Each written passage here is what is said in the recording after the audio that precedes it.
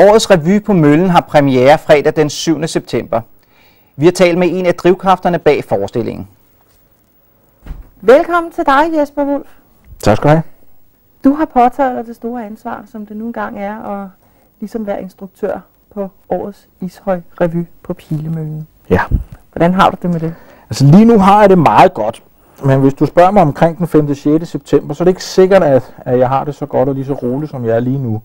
Der kunne jeg godt forestille mig, at der er en, en anelse naver på lidt nedbitte negle, da vi har premiere den 7. september. Det kan jeg godt forstå.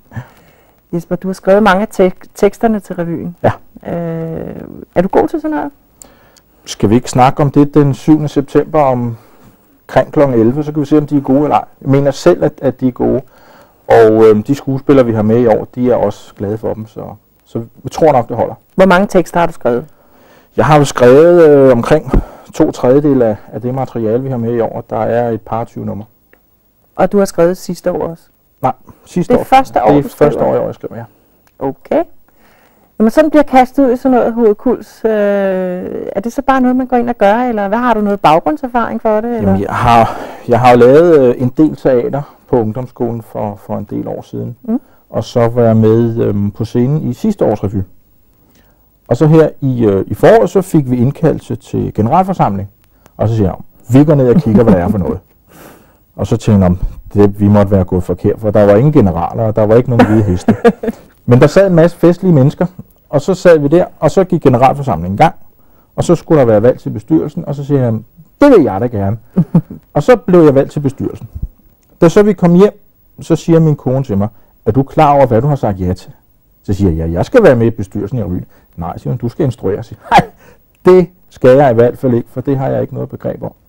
Og der gik fire minutter, fra vi var trådt ind ad døren, og til folk begyndte at ringe. I, hvor er det godt, og det bliver vel nok sjovt, og vi glæder os til, at du skal instruere. Så, så jeg skulle instruere. Og det har du det godt med i dag. Lige nu har jeg ja, Ja, men som sagt, den femte. lad os snakke sammen den 5. 6. så ser vi, hvor godt jeg har. Er der nogle spændende emner på programmet?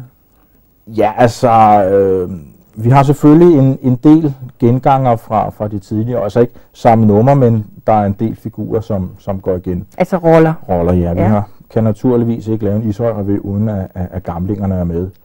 Og jeg har da også hørt, at, at hendes majestæt kigger forbi. Så, så der er der noget genkendelses, men der er naturligvis også en masse nye ting. Så kan man jo ikke lade være med at spørge, øh, kan man sådan øh, sige, at revyen er lidt mærket af, at det jo er valgår i år? Altså, jeg vil være fuld af løgn, hvis jeg påstår, at vi ikke har noget med med politik. Så man kan godt fornemme, at, at der skal ske et eller andet senere på året. Det vil sige, der er nogen, der skal have ørerne i maskinen. Jeg ved ikke, om, om de skal have ørerne i maskinen, men vi gør dig opmærksom på, at, at vi ved godt, hvem de er. Okay. Hvad, hvornår er I har premiere? Det har vi som sagt fredag den 7. september, og så spiller vi lørdag den 8. og igen ugen efter den 14. og 15. september. Okay. Øh, hvilke ugedage er det? Er det sådan i Det- weekenderne? Det er fredag og lørdag begge gange. Okay. Hvor mange personer er I egentlig, der deltager i revyen, hvis I tager, han er sagt, ret og krav med? Fordi det er jo en, en stor opgave at stable sådan en revy på benene. Vi er...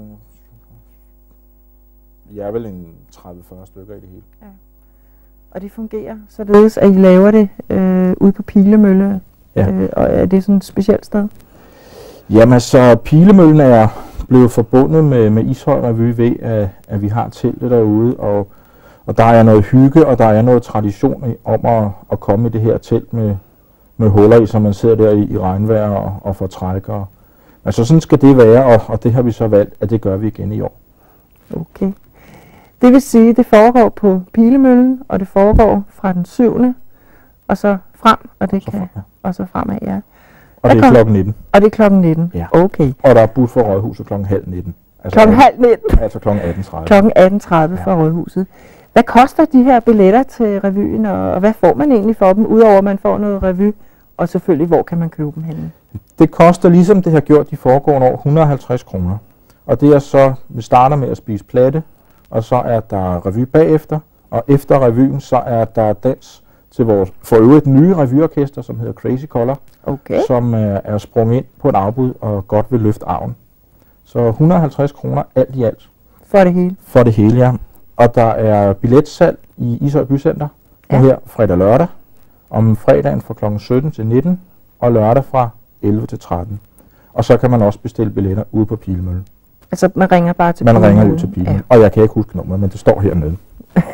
Ja, det er Måske. rigtigt. Ja, det kommer det til. Jamen, øh, det lyder jo rigtig spændende. Ja. Og jeg kan jo andet sige held og lykke med projektet. Tak for det. Og så kan jeg da i hvert fald fortælle til, til seerne, at den 5. der vil der i Forums direkte udsendelse være et uddrag af Pilemølle-revyen. Så der kan man få sig en smagsprøve for, hvad det, eller på, hvad det egentlig er, man skal opleve. Jeg skal lige sige, den hedder ikke Pilemølle-revyen. Den hedder Revy på Møllen. Revy på For det møllen. eneste, vi har med Pilemøllen at gøre, det er, at vi leger os ind i deres telt. I leger ind i jeres til. Okay, men vi siger velkommen til dem, der nogle gange kommer. Ja. Og tak til dig. Tak selv.